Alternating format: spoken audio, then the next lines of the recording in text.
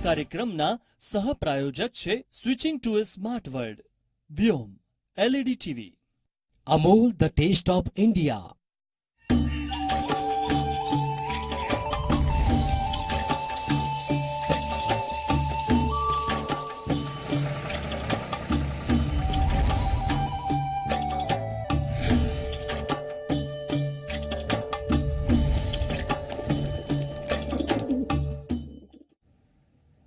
આપ જોઈ ચોવીસ કલાક ગામડું જાગે છે સાથે હું છું મિહિર રાવલ.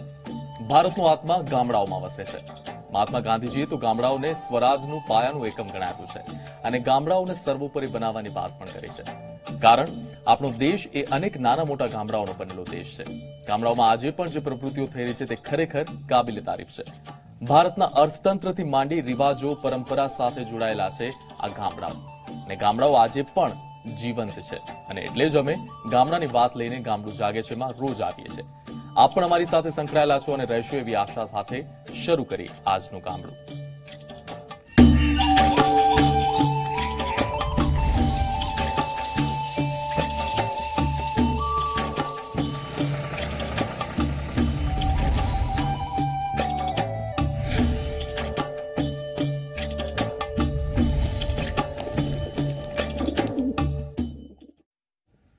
દર્શક મિત્રો, અમે તમને અત્યાર સુધી ફળ અને શાકભાજીની ઓર્ગેનિક ખેતી વિશે વાત કરી. પણ આજે અમે તમને જણાવવાના છીએ કે વિદેશી શાકભાજીની મલ્ટીક્રોપિંગ ખેતી અને તે પણ ઓર્ગેનિક પદ્ધતિથી થતી ખેતી વિશેની. આધુનિક સમયમાં ઓર્ગેનિક ખેતી તરફ લોકો વળી રહ્યા છે. ત્યારે આ પ્રકારની ખેતીથી લોકોનું આરોગ્ય પણ જળવાઈ રહ્યું છે. ત્યારે આજના આ કાર્યક્રમમાં આપણે વાત કરીશું આ પ્રકારની અનોખી ખેતી વિશે.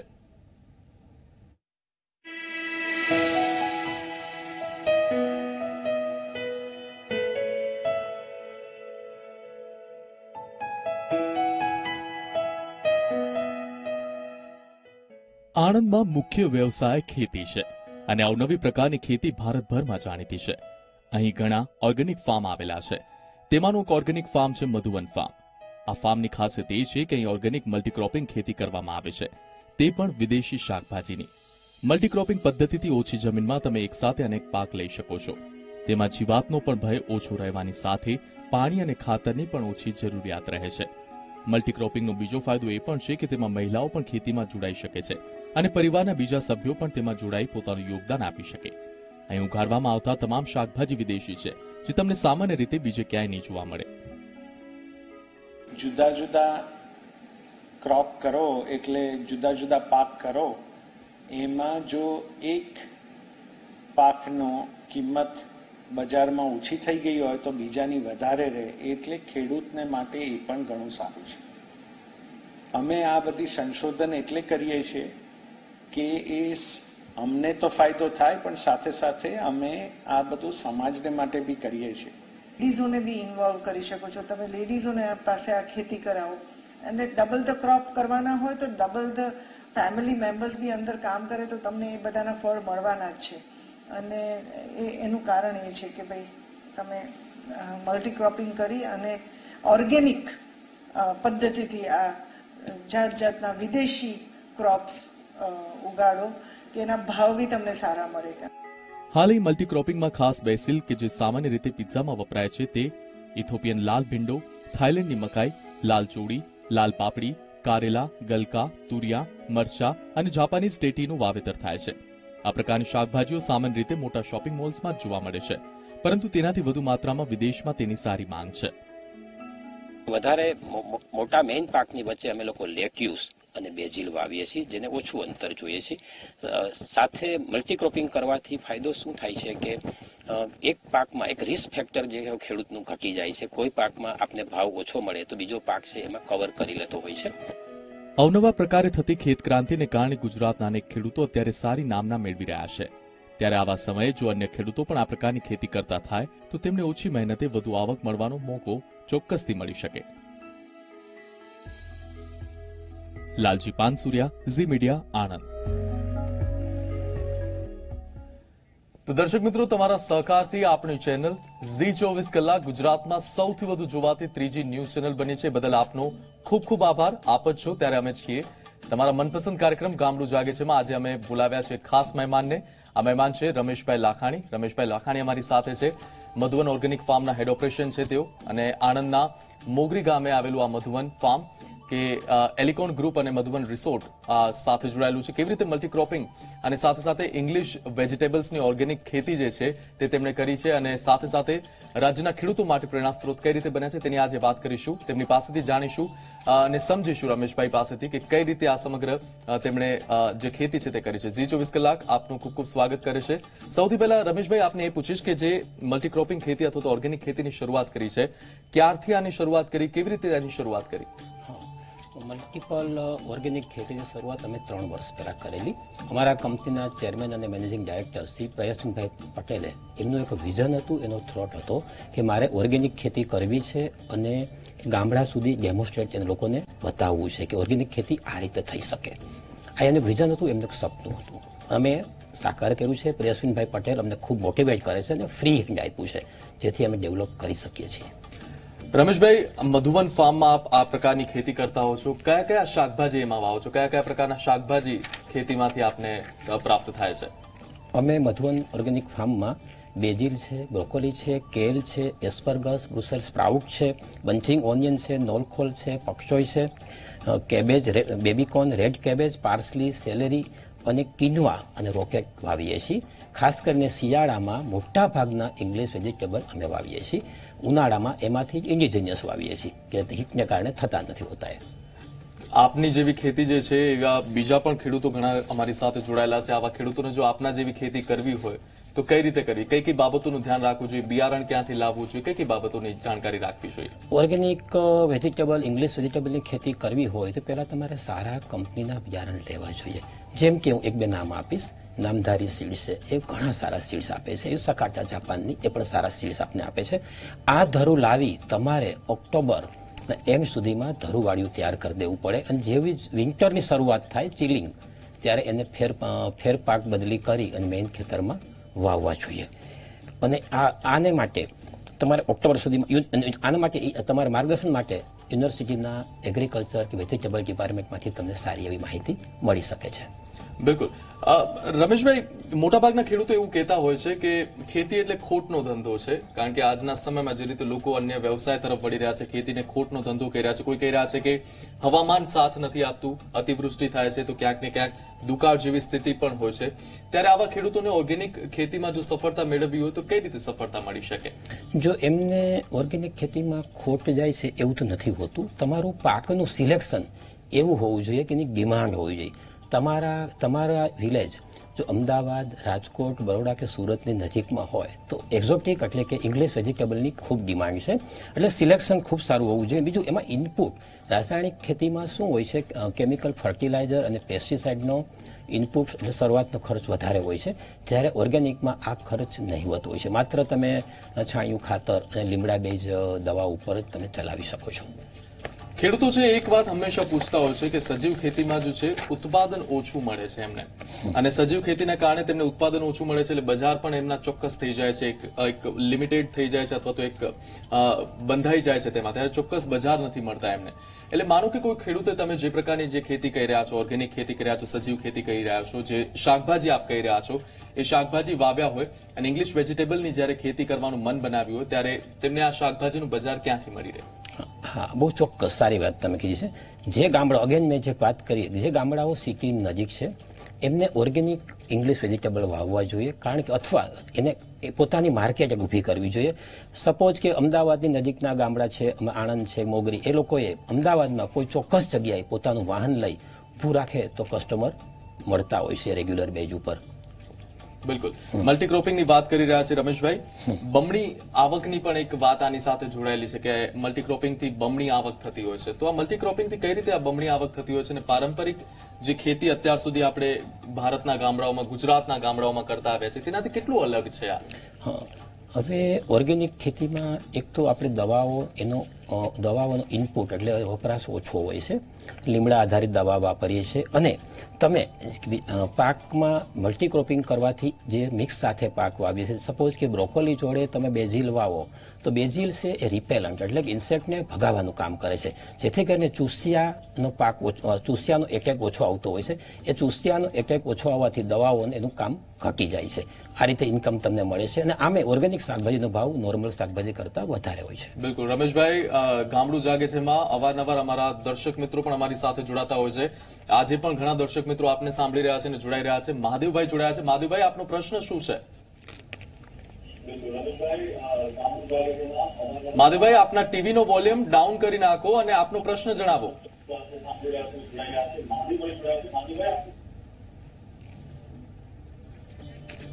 લાગે છે સંપર્ક તૂટી ચુક્યો છે. ભાણવડથી અનેક દર્શક પણ જોડાયા છે. જી આપનું નામ જણાવો અને આપનો પ્રશ્ન જણાવો. હેલો? જી આપનું નામ અને આપનો પ્રશ્ન જણાવો. એ વાલાભાઈ સગર ભાણવડથી બોલું સાહેબ. જી જી બોલો બોલો વાલાભાઈ. અને આપણે એમાં છે કે હવે સરકાર તરફથી કોઈ સબસિડી કે સહાય મળવા પાત્ર છે કે નહીં આપણે સજીવ ખેતી કરવી હોય તેના માટે? જી બિલકુલ. રમેશભાઈ જણાવશે સજીવ ખેતી કરીએ તો શું કોઈ સરકાર તરફથી સબસિડી કે કોઈ સહાય મળી શકે ખરી? સજીવ ખેતીમાં સરકારની ચોક્કસ યોજના છે એની સહાય છે. તમારે રાજ્યના કૃષિ ડિપાર્ટમેન્ટને મળી અને જાણવું જોઈએ. સહાય મળે છે એમાં. સહાય મળે છે. ચોક્કસ મળે છે. અન્ય એક દર્શક મિત્ર વલભીપુરથી જોડાઈ ચુક્યા છે. વિક્રમભાઈ જોડાયા છે. વિક્રમભાઈ આપનો સવાલ જણાવો. જી વિક્રમભાઈ. લાગે છે? સંપર્ક તૂટી ચુક્યો છે. અનેક કોલર પણ જોડાયા છે. અને એક દર્શક મિત્ર જોડાયા છે. જી આપનો સવાલ જણાવો. ક્યાંથી બોલી રહ્યા છો આપ આપનું નામ? હું બોલું છું જોધપુર ઝાલા ગામથી. જી. મારો પ્રશ્ન એવો છે કે આપણે મરી વાવી તો થાય સાહેબ ને કઈ? મરી? જી. મરી એકચ્યુઅલી હ્યુમિડ અને લો ટેમ્પરેચર એરિયામાં થાય છે. આપણે ત્યાં ગુજરાતમાં મરી એટલા સક્સેસફુલ નહીં થાય. મરી છે એકચ્યુઅલી એ મલ્ટી ક્રોપિંગમાં વાવવામાં આવે છે. સપોઝ કોકોનટનું ઝાડ હોય તો એના સ્ટેમ પર કે થોડી છાંવવાળામાં વાવવામાં આવે છે. એટલે ગુજરાતમાં એ નહીં મજા આવે. મરીમાં સફળ નહીં થઈ આપણે. એટલે એક સલાહ એવી છે કે મરી ન વાવવા ન વાવવા જોઈએ, બિલકુલ બિલકુલ. એટલે જે જોડાયા હતા કોલર એમનો જે પ્રશ્ન છે એમનો જવાબ રમેશભાઈ આપ્યો. રમેશભાઈ આપણે વાત કરી રહ્યા હતા જે ઓર્ગેનિક ખેતીના. અન્ય કોલર્સ પણ જે પણ હશે તેમના પણ અમે પ્રશ્નો રહેશું. રમેશભાઈ આપના પ્રશ્નો જવાબ આપશે. પરંતુ એક વાતનું ધ્યાન રાખશો કે જ્યારે પણ આપ પ્રશ્ન પૂછો, ત્યારે આપના ટીવી નું વોલ્યુમ ડાઉન કરી નાખો ત્યારબાદ આપ પ્રશ્ન પૂછો, જેથી કરીને આપ પણ સાંભળી શકો, રમેશભાઈ પણ સાંભળી શકે. જામનગરથી અનેક દર્શક મિત્ર પણ જોડાયા છે. જે આપનો સવાલ જણાવો, આપનું નામ જણાવો.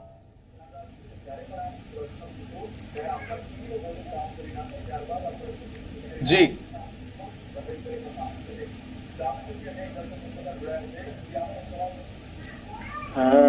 નાથાભાઈ બોલી જામનગરથી જી લાખાભાઈ સવાલ જણાવો. નાથાભાઈ નંદાની જી જી સવાલ જણાવો. સજીવ ખેતી કરવી તો આપણે ક્યાંથી માહિતી પૂરી પાડી શકીએ? બરાબર છે. સજીવ ખેતીની માહિતી કરવી હોય તમારે. સજીવ ખેતી એટલે કોઈ બહુ હાઈ ટેકનોલોજીવાળી ખેતી જ નથી. વર્ષો પહેલાં પચાસ વર્ષ પહેલાં આપણા બાપ દાદાઓ જે કરતા હતા જેમાં છાણિયું ખાતર અને દવા તરીકે લીમડાનું કે બોટાનિકલ અર્ક કે વનસ્પતિનો અર્ક વાપરતા હતા પેસ્ટિસાઇડ તરીકે. આ એકદમ સરળ અને જૂની પદ્ધતિની ખેતી છે. માત્ર તમારે વધારે માહિતી જોતી હોય આની, તો તમારે રાજ્યના વેજીટેબલ ડિપાર્ટમેન્ટનો કોન્ટેક્ટ કરવો જોઈએ.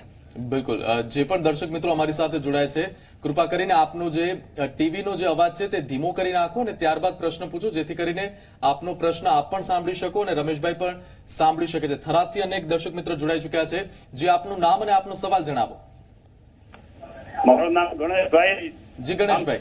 તાલુકો થરાદ જી. ગણેશભાઈ સવાલ જણાવો આપનો. હલો. જી ગણેશભાઈ સવાલ જણાવો આપનો. મારો સવાલ એ છે કે આ એરંડાની અંદર ઓર્ગેનિક ખાતર નાખવા એરંડા ઉત્પન્ન કેમ થાય? એરંડાની અંદર ઓર્ગેનિક ખાતરનો જો ઉપયોગ કરીએ તો એના વિશે પૂછી રહ્યા છે? હા તમે એરંડાની અંદર ઓર્ગેનિક ખાતર વાપરી શકો છો. તમારા પોતાના ગાય ભેંસ હોય તેનું છાણિયું ખાતર છે વર્મી કમ્પોસ્ટ છે કે બીજો રેસિડ્યુઅલ વેસ્ટ એટલે કે પાંદડાનું ખાતર છે તમે નાખી શકો છો ડીએપી અને એમોનિયાની જગ્યાએ. અને સરસ રીતે થઈ શકે છે. ઘણા બધા લોકો આવું કરે છે. એરંડાની ખેતી ગુજરાતમાં ઘણી જોવા ઘણી જોવા મળે છે, એટલે ખેડૂતોને એના વિશે પણ પ્રશ્નો હોય છે. હળવદથી એક દર્શક મિત્ર જોડાયા છે. જે આપનું નામ અને આપનો સવાલ જણાવો. હેલો. આપનું નામ અને આપનો સવાલ જણાવો. મારો સવાલ એ છે કે અત્યારે રમેશભાઈ એવું કીધું કે વેજીટેબલ વિભાગ જે રાજ્યનો વિભાગ છે ને તો વેજીટેબલ રાજ્યનો વિભાગ જે છે એ રાજ્યનો વિભાગમાં એ કયો ડિપાર્ટમેન્ટ આવે? એમાં શાકભાજી સંશોધન કેન્દ્ર હોય છે. સપોઝ આણંદ છે તો આણંદ એગ્રીકલ્ચર યુનિવર્સિટીમાં શાકભાજી સંશોધન ડિપાર્ટમેન્ટ આવેલું છે. ત્યાં તમે કૃષિ નિષ્ણાતને મળી અને તમારો પ્રોબ્લેમ સોલ્વ કરી શકો છો. બિલકુલ એટલે આ પ્રકારના રાજ્ય સરકારના જે વિભાગો છે એ પણ પૂરેપૂરો સહયોગ આપતા હોય છે અને એ જ રીતે સજીવ ખેતીમાં પણ ઘણી સહાયતા મળતી હોય છે. પરંતુ એક એક સવાલ ખેડૂત મિત્રો તરફથી એક પણ આવતો હોય છે લેબર કોસ્ટિંગને લઈને. લેબરને લઈને ઘણા પ્રશ્નો આવતા હોય છે મજદૂરીને લઈને ઘણા પ્રશ્નો આવતા હોય છે. આપે જ્યારે આ સજીવ ખેતી શરૂ કરી લેબર કોસ્ટિંગને લઈને આપે કઈ રીતે જે મજૂરોની જે જે પણ મુશ્કેલીઓ આવતી મુશ્કેલી તેને હલ કરતા ગયા? જો અમે મોટા ભાગે આ કૃષિ છે ગામડામાં હોય છે, એટલે અમારું એક, અમારા જે સીઈઓ મધુવન રિસોર્ટના સીઈઓ તરુણાબેન પટેલનું એક સપનું છે, વિઝન છે કે આપણે વિમેન એમ્પાવરિંગ સ્ત્રી સશક્તિકરણની અમે પહેલ કરીએ છીએ. એટલે અમારા ફાર્મ પર જે વિડો વુમેન છે, કે જે નીડી છે, જેમને જરૂર છે, એવા લોકોને કામે રાખીએ છીએ. જેની ઓવર એજ ફિફ્ટીની એજ છે, એવા લોકોને રાખીએ છીએ. જેથી અમને પૈસા પણ મળે, એમનું ઘર પણ ચાલે. એટલે ઇઝીલી અમને તો આ લેબર ગામડામાંથી મળી જાય છે. મને ક્યારેય લેબરનો એટલો પ્રોબ્લેમ નડ્યો નથી. બિલકુલ. સજીવ ખેતીની જ્યારે વાત કરી રહ્યા છીએ ત્યારે ચોક્કસપણે મને યાદ આવે છે કે આપણા રાજ્યપાલ દેવવ્રત આચાર્ય તેઓ પણ ખુદ સજીવ ખેતી કરે છે. તેમણે તેઓ સજીવ ખેતીને ઘણું જ પ્રોત્સાહન આપે છે. એક હાલમાં જ એક ઓર્ગેનિક શિબિરનું પણ આયોજન તેમણે કર્યું હતું. રાજ્ય સરકાર કેન્દ્ર સરકાર પણ ઘણું પ્રોત્સાહન આપતી હોય છે. પરંતુ ક્યાંક ને ક્યાંક ખેડૂતોમાં એક કચવાટ અનુભવાતો હોય છે કે સજીવ ખેતી કરતા જે ભાવ મળવો જોઈએ ન મળે અથવા તો અન્ય પણ ઘણા પ્રશ્નો ઉદ્ભવ- ઉદ્ભવતા હોય છે. ત્યારે આવા ખેડૂતોને આપની સલાહ શું રહેશે? જો કેમિકલની કમ્પેરમાં સજીવ ખેતીના પ્રોડક્ટનો ભાવ તો વધારે મળે છે. રાજ્ય સરકારે એક કેમિકલ શાકભાજીવાળું, એટલે કે એપીએમસી જે છે, નોર્મલ, એની અંદર એક પેરેલલ, એક વિભાગ ઊભો કરવો જોઈએ જે ઓર્ગેનિક વેજીટેબલ્સનો. જેવી રીતે વિદેશમાં કેમિકલવાળા શાકભાજી અને ઓર્ગેનિક શાકભાજી બંને વેચાય છે અને બંનેની પ્રાઇસમાં ત્રણ ગણો ફરક હોય છે. જો સરકાર આમાં ઇનિશિયેટિવ લે, પગલું ભરે, તો ચોક્કસપણે ખેડૂતો આ શાકભાજી ઉગાડવા તરફ પ્રયત્ન કરશે અને મોટિવેટ થશે. બિલકુલ. રમેશભાઈ, હંમેશા આપણે કંઈ ને કંઈ નવું કરતા હોઈએ ત્યારે એક સવાલ એવો હોય કે આમાં મને શું ફરક પડે? ઓર્ગેનિક ખેતીથી એક માણસને શું ફરક પડે? ઓર્ગેનિક ખેતીથી માણસમાં બહુ જ ફરક પડે. માણસની લાઈફમાં બહુ ફરક પડે છે. ઓર્ગેનિક ખેતી એ નેચરલ છે. એક તો એ મેડિસિનલ એની પણ વેલ્યુ છે. ઉપરાંત એ ન્યુટ્રિટિવ પણ છે. પોષક તત્વો પણ આપે છે. ઉપરાંત એ ઔષધિ ગુણો પણ છે. ઓર્ગેનિક ખેતીથી હ્યુમન આજે તમે જોવો છો, આજના યુગમાં લોકો કેમિકલવાળી શાકભાજી ખાઈને એમના કેન્સરો કે ઘણા બધા રોગો થતા હોય છે. ઓર્ગેનિક ખાવાથી ચોક્કસપણે એ અટકશે. અને લોકોને ડેફિશિયન્સી હશે એ પણ દૂર થશે અને લોકો ચોક્કસપણે એની એક સારી લાઈફ જીવી શકશે. બિલકુલ. મધુવન ઓર્ગેનિક ફાર્મ ઘણું જ સારું આપ ત્યાં ખેતી કરી રહ્યા છો ઓપરેશન હેડ છો આપ. મધુવન ફાર્મના જે શાકભાજી છે તેનું બજાર ક્યાં છે? શું ગુજરાતના શહેરોમાં જ આપ મોકલો છો કે ગુજરાત બહારના રાજ્યો છે ત્યાંથી પણ ડિમાન્ડ આવતી હોય છે ત્યાંથી પણ આના માટેની માંગ હોય છે? અમારું શાકભાજી મોટે ભાગે અમદાવાદમાં સ્ટાર મોલમાં આવે છે. એક અમારો મોટો એ અમારો ગ્રાહક છે. વીકમાં અમારે ત્યાંથી બે વાર લેવા માટે આવે છે. મંગળવાર અને શુક્રવારનું ફિક્સ જ છે. અને બીજો અમારો રિવરફ્રન્ટમાં અમારે ત્યાંથી વેન્ડરો શાકભાજી લઈ જાય છે અને પોતે પોતાની રીતે એક સ્ટોલ બનાવી વેચે છે. ઉપરાંત અમારું શાકભાજી સૌથી અગત્યનું અમારી પોતાની મધુવન રિસોર્ટ એન્ડ સ્પા છે. એમાં અમારું શાકભાજી વેજીટેબલ ઓર્ગેનિક ડીશમાં પીરસાય છે. જે વસ્તુ અમારા સીઈઓ મધુવન ઓર્ગેનિક રિસોર્ટના સીઈઓ એ તરુણાબેન પટેલ એમનું એક આ વિઝન અને એનું સપનું હતું. અમે કસ્ટમરને એક ઓર્ગેનિક ડીશ પણ આપીએ છીએ. બિલકુલ એટલે ઓર્ગેનિક ડીશની સાથે એટલે શાકભાજી ઉગાડવાની સાથે આપ જે પણ કોઈ જે ઘરે ઉગાડી નથી શકતા તો જેને ખેતીને પ્રોત્સાહન ના આપી શકે તેવા કસ્ટમર્સને આપ ઓર્ગેનિક તો એવા ગ્રાહકોને ઓર્ગેનિક ડીશથી આપે ભાણું પણ પીરસો છો કહી શકાય. પણ આ શાકભાજીની જો વાત કરતા હોય ખેતીની વાત કરતા હોય રમેશભાઈ શાકભાજીની સૌથી સારી સિઝન કઈ કહી શકાય? ઇંગ્લિશ ઇંગ્લિશ વેજીટેબલની વાત કરું તો સૌથી સારી સિઝન વિન્ટર હવે આવવાની છે. એમાં મોટા ભાગના વેજીટેબલ થાય છે. કારણ કે ફોરેનને અનુકૂળ થોડું ટેમ્પરેચર લો હોય છે એટલે પંદરથી ત્રીસ ડિગ્રીમાં પચીસ ડિગ્રી મોટા ભાગના શાકભાજી સારા એવા ગુજરાતમાં થાય છે. હું છેલ્લા ત્રણ વર્ષથી આ શાકભાજી બધા ઇંગ્લિશ ઉગાડું છું. લાસ્ટ યર મારી પાસે લગભગ ત્રીસક જાતના ઇંગ્લિશ વેજીટેબલ હતા અને આ વર્ષે પણ ઉગાડવાનો છું. દર વર્ષે નવા પાંચ વેજીટેબલ હું એડ કરતો જાઉં છું. બિલકુલ એટલે કહી શકાય કે જે શિયાળાની સિઝન છે શિયાળાની જે ઋતુ છે તે ઇંગ્લિશ વેજીટેબલને માફક આવે છે. કારણ કે બહારના દેશોમાં જ્યાં જ્યાં ઇંગ્લિશ વેજીટેબલ્સ થતા હોય છે ત્યાં કહી શકાય કે ઠંડી ઋતુ હોય છે, તેના કારણે માફક આવે છે. પરંતુ જો ઉનાળામાં કોઈ ખેડૂત એવા છે, ખેડૂત મિત્ર એવા છે કે જેમને ઉનાળામાં આ શાકભાજી ઉગાડવા છે, તો એમના માટે કયા પ્રકારનું આપ કહેશો, કેવી રીતે ઉગાડવા જોઈએ? યસ. જનરલી ઇંગ્લિશ વેજીટેબલ ઉનાળામાં ઓછા થાય છે, કારણ કે ટેમ્પરેચર આપણે ત્યાં બહુ હાઈ હોય છે. એને કારણે એને માફક આવતું નથી. પણ જો આપણે એને, સપોઝ દેશી વેજીટેબલમાં તમે તુરિયા, ગલકા, દૂધી કે ગિલોડા બરાબર પરવળ એનો માંડવો હોય. અને માંડવાની નીચે તમે વાવો એટલે કે multi storey multi cropping with multi storey એની નીચે તમે વાવો તો છાંયો મળી રહે એની નીચે બેઝિલ પાલક એસ્પરગસ આ બધા બહુ સારા થતા હોય છે. એક જ જમીનમાં તમે મલ્ટી સ્ટોરી બે પાક લઈ શકો. વાવી શકો. બિલકુલ બિલકુલ. મહેમદાબાદથી વધુ એક દર્શક મિત્રો અમારી સાથે જોડાયા છે. આપનું નામ અને આપનો સવાલ જણાવો. જી આપનું નામ અને આપનો સવાલ જણાવો. હલો જી જી આપના સુધી મારો અવાજ આવી રહ્યો છે? હલો જી નામ જણાવો આપનું. આપનું નામ મારું નામ કાશભાઈ. અને સવાલ જણાવો આપનો. હા? શું પ્રશ્ન પૂછવો છે આપને? મેં આપણે સાહેબ હવે ટોમેટી લગભગ સાત દાડાથી રોપી છે તો બે બે વખત આવ્યા તો ઘરી ગયા તો એનું શું કરવું સાહેબ? શું કહેવા માંગે છે? આપનો સવાલ ફરીથી જણાવશો. હા સાહેબ મેં સાહેબ હલો. જી જી બોલો બોલો. હા બે બે વખત ફૂલ કરી ગયા સાહેબ. અચ્છા. શાકભાજી શાકભાજી વાવે છે પણ ફૂલ એના ગળી જાય છે. એને એને લઈને શું શું આપની સલાહ રહેશે? ફૂલ જો ફૂલ ગળતા હોય તેનો મતલબ એ કે હોર્મોનલ ડેફિશિયન્સી છે. અથવા ફૂલ ન ગળે એવી. બજારમાં ઘણી બધી હોર્મોન્સ આવે છે. સપોઝ નેપ્થેલિક એસિટિક એસિડ બરાબર? એને ફોર પોઈન્ટ ફાઈવ પર્સન્ટનું જે દ્રાવણ છે પંપમાં ચારથી પાંચ એમ નાખીને સ્પ્રે કરવો જોઈએ, જેથી ફૂલ ગળતા બંધ થઈ જશે.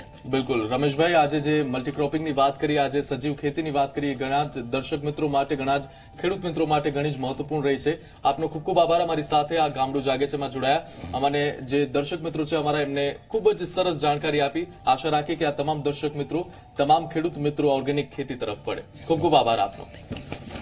તો દર્શક મિત્રો, ગામડું જાગે છે કાર્યક્રમમાં અમે આપની સમસ્યાનું સમાધાન લાવવાનો પ્રયત્ન કરતા હોઈએ છીએ. આ સાથે જ ખેડૂતોની સમસ્યા હોય છે, તેને ઉજાગર પણ કરતા હોઈએ છીએ. ઝી ચોવીસ કલાકના ગામડું જાગે છે. કાર્યક્રમે અત્યારે ખાસ અભિયાન હાથ ધર્યું છે ઓર્ગેનિક ખેતીનું. તો આપ પણ જો ઓર્ગેનિક ખેતી કરતા હોય, આપ પણ પ્રગતિશીલ ખેડૂતો હોય, તો ચોક્કસથી અમને જણાવો. અમે આપની વાત લોકો સમક્ષ મૂકીશું. નમસ્કાર. ગામડું જાગે છે માં. સમસ્યા જ નહીં. તમારા ગામની વિશેષતા પણ બતાવીશું. અમે બનીશું ગુજરાતના ગામે ગામનો અવાજ. તમારા ગામની સમસ્યાનો ફોટો કે વીડિયો પહોંચાડો. અમારા seven eight two seven double nine three four zero two WhatsApp number પર. અમે બનીશું તમારી સમસ્યાના ભાગીદાર. કાર્યક્રમના સહ પ્રાયોજક છે switching to a smart world Vyom LED TV Amul the taste of India.